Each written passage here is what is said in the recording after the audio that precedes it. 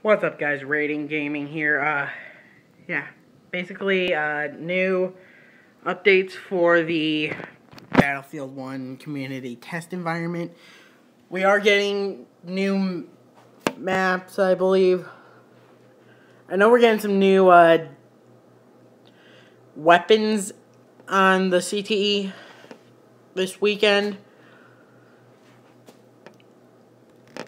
If you don't know, uh, I get all my information off of bigger channels because they would know more about it than I would. So, quick shout out to Flakfire, Westie. Those are the two main channels that I watch for Battlefield 1.